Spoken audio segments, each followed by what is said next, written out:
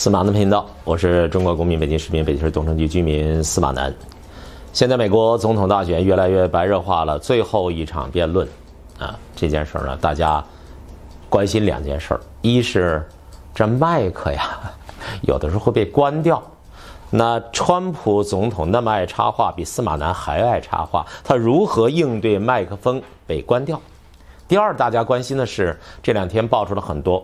美国的媒体爆出了大量的关于拜登儿子的丑闻，那拜登老先生如何应对丑闻的攻势？这是最后一场辩论了，这个最后一场辩论距离呃选举日不到两周的时间，所以很多选民已经提早投票了，很多呢关键摇摆州现在进入到了选情紧凑的阶段，所有人都认为这是冲刺的黄金的机会，奥巴马。我说奥巴马不是特朗普，奥巴马已经到费城去给他的副总统加油助威了。这汽车喇叭声响成一片。美国现在，美国总统大选这种民主形式，一场嘉年华。我曾经呢，腾讯出钱请我到美国去观察美国总统大选，这就是奥巴马第二任。我跑了美国各个州，哎呀。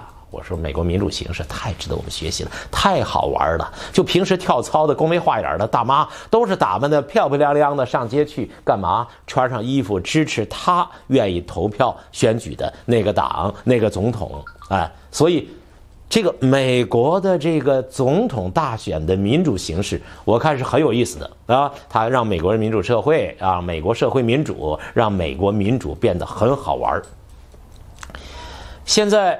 现在这个辩论呢，成了最后的一个冲刺，冲刺的结果将决定呢，到底谁胜出。两个老头在冲刺，冲刺的时候，一个老头你知道吗？嘴特欠，老插话，一个一个说。所有的人在电视机前都觉着，你们不能一个一个说话吗？听不见了，你干嘛老插话呀？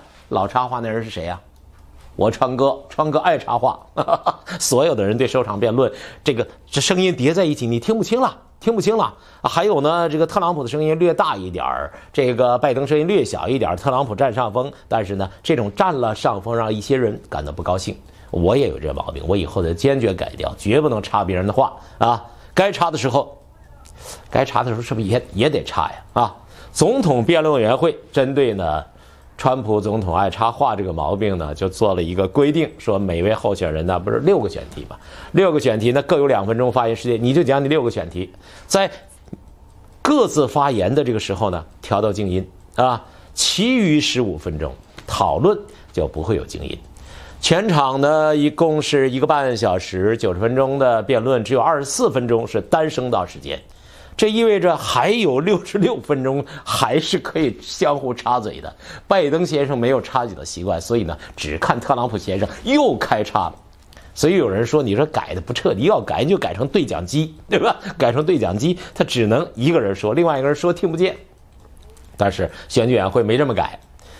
但是就这样，川普总统也非常愤怒。他说：“你修改规定，你你你这不利于我发言，知道吧？你让我失去了发言的空间。”所以呢，插画这个这个事儿啊，现在看起来是没有办法彻底改变的。老川是老插，啊，川普是插普，Trump 不这么读了，以后改成 Trump。还有一件事儿，大家特别关心，就是拜登先生他如何应对呢？这爆出来这么多关于儿子的丑闻啊！儿子叫亨特，这个丑闻呢太多了，什么与乌克兰的商务往来呀，与中国的商务往来呀，没人知道真假，没有时间搞清楚真假。但是在总统大选的时候，这种丑闻是很拿分的。还有，这个这儿子叫亨特，亨特这事儿还没事喜欢滥用药物，还呃愣说是发现了一个硬盘，硬盘起来里边有好几万封邮件，还有色情照片，还有未成年女子，好家伙！当了一辈子公务员的拜登啊，他一直注意家庭，一直呢注重家庭。他曾经说过，他承认这个亨特啊吸毒，这老小子，这小子不给我争气，他吸毒，但是他已经戒毒了，所以我为他骄傲。但是现在，对面是谁呀？是川普啊！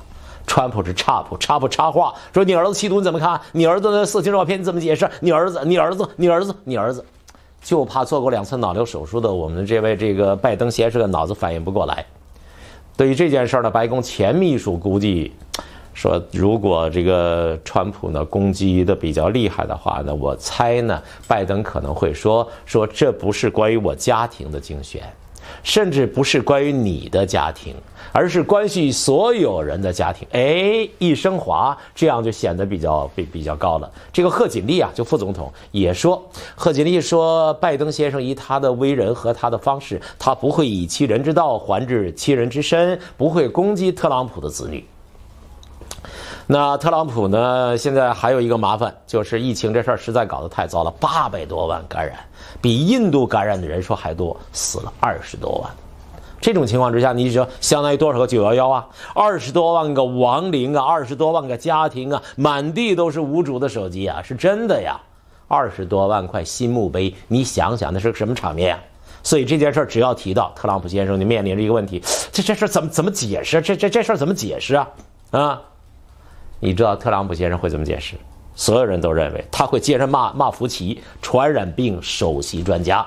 特朗普呢会说：“我本来啊就说不应该听他们的，如果我听他们的，会死七十万，现在听我的才死了二十多万。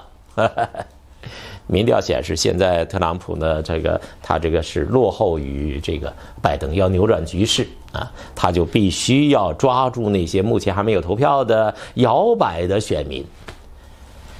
特朗普先生的甩锅，把责任都归之于福奇的这种做法，能够争取那些中间选民吗？